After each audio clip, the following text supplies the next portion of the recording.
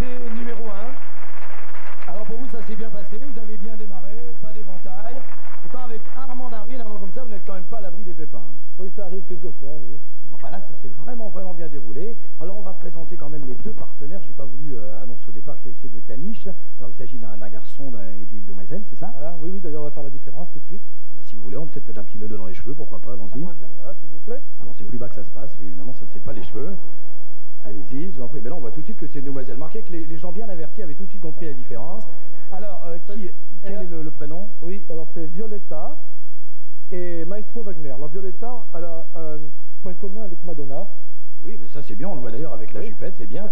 Et alors là, c'est euh, Wagner, pourquoi? Parce qu'il est musicien? Voilà, c'est ça, il aime bien la grande musique, dit comme moi. Elle aussi? Elle aussi, c'est surtout, surtout une grande chanteuse. Un chien qui chante, j'aimerais bien voir ça. Vous pouvez nous faire une démonstration? Tout de suite, c'est pas de problème.